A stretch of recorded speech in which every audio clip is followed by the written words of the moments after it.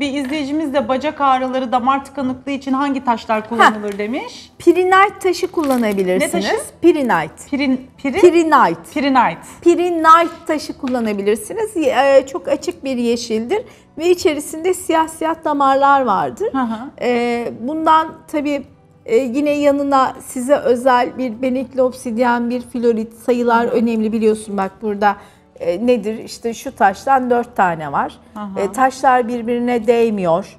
Mutlaka arada ayrıştırıcı olmak zorunda. Bunu ayak bileğine takabilir. Ve selenitle ve labradoritle mutlaka masaj yapacak. Bu o, ayaklarına işte yukarıdan aşağıya, aşağıdan yukarı hafif sarı kantaron yağı ya da zeytinyağına bulayacaksınız. Bu da neden? Taşların daha rahat kayması için bacaklarda. Varislere iyi gelir pirinite. Damar tıkanıklarına iyi gelir. Yani lütfen notunuzu alın, e, yapın. 21 gün ama mutlaka yapın. Yani günde en azından bir yarım saatte sarın o bölgeye. Aha. İyi gelecek ve evet cevabı da bekliyoruz tabii Evet, ki. bekliyoruz.